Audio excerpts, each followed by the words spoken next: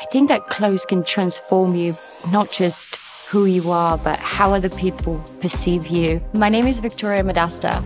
I'm a bionic pop artist, creative director, and futurist.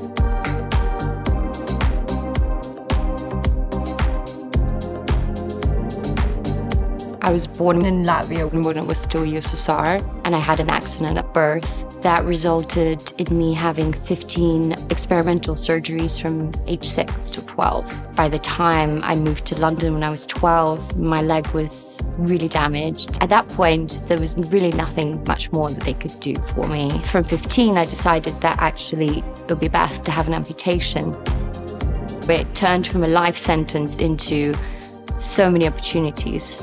For me, it's silhouette. It's the most powerful because when we imagine ourselves, we really imagine the outline of the human with all limbs intact.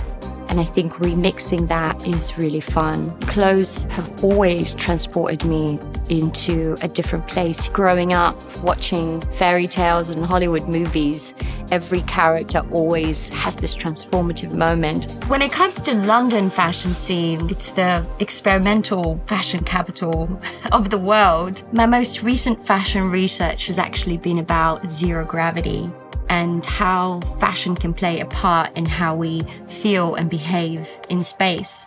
Everything we know about the laws of gravity and physics and how our body behaves and feels is completely different in zero gravity.